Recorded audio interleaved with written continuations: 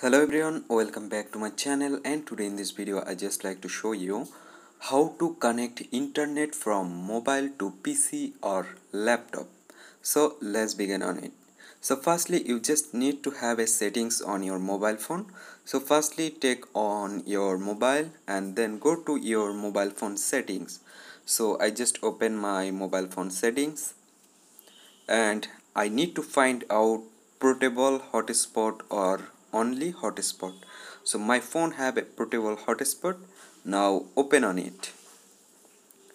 After that there have a option.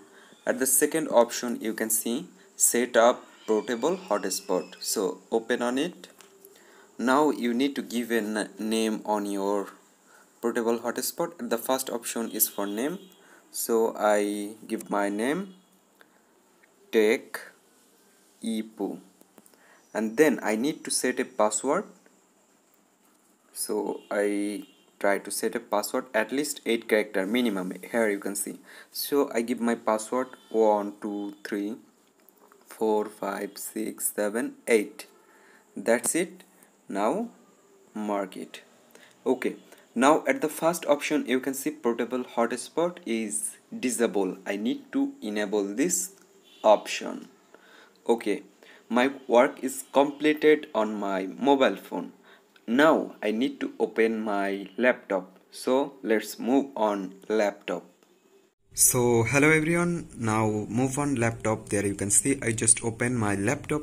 And what should you do for connecting internet from mobile? You just need to go on this icon. There have internet icon. So select on it.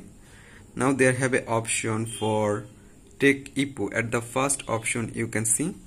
That's name is TechEpu i already give my mobile network name TechEpu so select on it and i i give my password before so i don't need to give my password now. You also need to give your password which on you before settings on your mobile. So i just give it. Just give on connecting. So here you can see my network already connected on my laptop. Now I will show you the proof. Just go on your Chrome browser and try to open someone something. I just open my YouTube. And here you can see it's already working perfectly. It's already connected. Here you can see. So I hope you can understand. And in this way you can connect your uh, mobile internet in your PC or laptop.